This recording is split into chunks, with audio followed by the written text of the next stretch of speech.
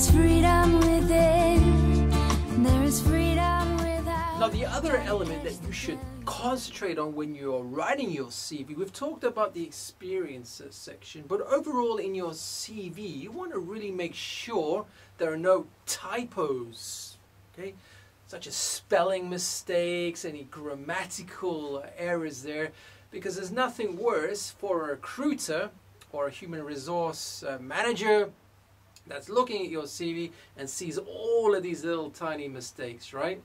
They say the small things in life count, right? well, certainly with CVs, that's for sure, right?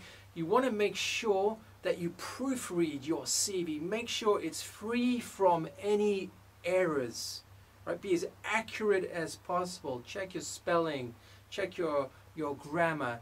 Give it to someone else to look over, right? Four eyes are better than two, as they say. Or give it to your careers counselor so they can also check for any uh, typos, any punctuation errors or spelling. Because uh, remember, first impressions count, right? You really want to make a good, solid first impression, right?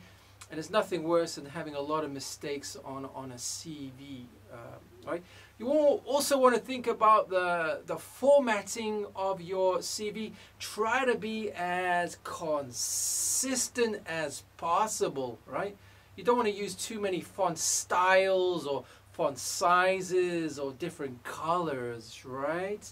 So try to uh, remember that. Make sure there are no typos in your, your CV and be, be consistent with the layout and the font style and, and the font size because first impressions really uh, do count when it